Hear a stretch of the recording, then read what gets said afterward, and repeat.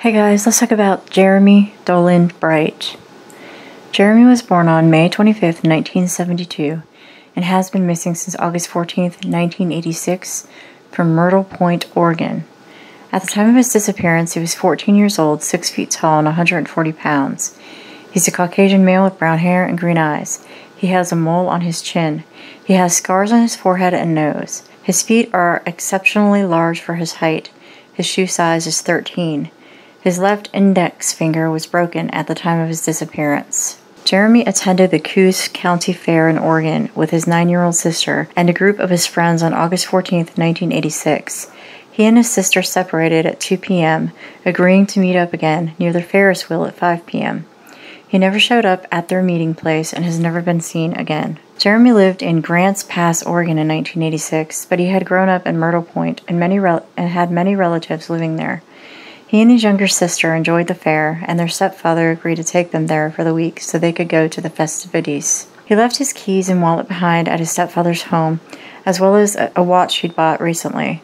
He spoke to his mother on a payphone on the day of his disappearance, and she stated their conversation was normal. There were several possible sightings of Jeremy in the local area in the days following his, disappearance, but none of them were confirmed.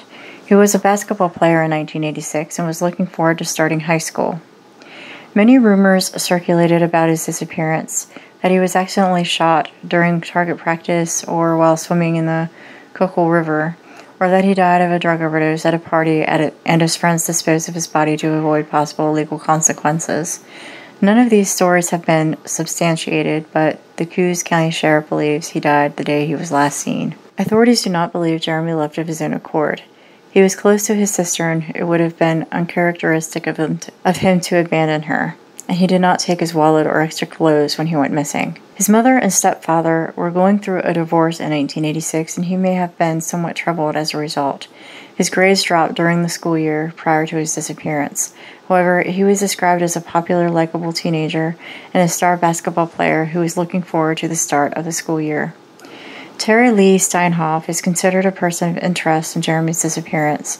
He is Jeremy's former babysitter, and several witnesses reported seeing Jeremy sitting with him in a truck that night. He wasn't cooperative with the investigation into Jeremy's disappearance, and in January 1988, he stabbed a woman to death.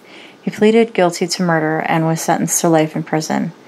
Steinhoff died in prison in 2007. Due to the lack of evidence in Jeremy's case, it's classified as a non family abduction and a potential homicide. His family believes he's deceased, and they held a memorial service for him in August 2011 on the 25th anniversary of his disappearance.